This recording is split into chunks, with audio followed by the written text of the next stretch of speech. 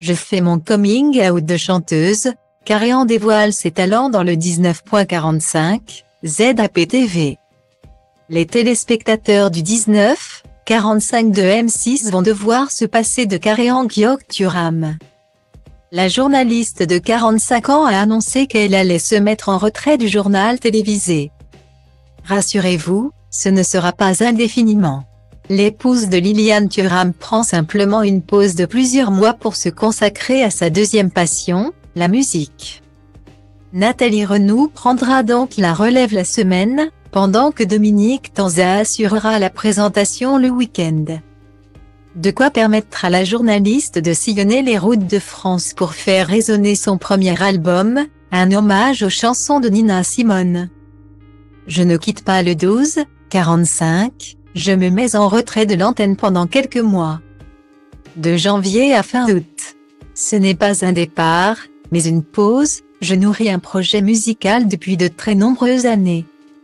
J'ai toujours écrit, chanté et composé. La musique m'est importante et la période de Covid-19 a remis les choses en perspective pour plein de gens. Dont moi. Je me suis posé des questions existentielles sur ce que j'avais vraiment envie d'approfondir et la musique en fait partie, a-t-elle expliqué à Télé Loisirs. Pour l'aider à lancer sa carrière, Karian Gyok a pu compter sur un sacré coup de bost de la part de M6. Qui l'a autorisé à interpréter un morceau dans le 19, 45, présenté ce jeudi 15 décembre par Xavier Demoulin. À la fin du journal, il a en effet lancé un direct avec la journaliste, qui était alors en pleine répétition. Une occasion dont a profité de Marie d'Anaïs Bouton pour lui demander d'interpréter l'un de ses morceaux préférés du répertoire de Nina Simone, Ipu a Spell on You.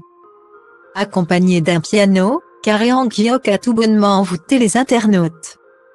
Extraordinaire voix, waouh, elle me surprendra toujours cette femme, girl. Marie Maître Please, note de la rédaction, fille, épouse-moi s'il te plaît, se sont enthousiasmés ces derniers sur les réseaux sociaux. Reste à voir si sa carrière de chanteuse rencontrera le succès que mérite son talent.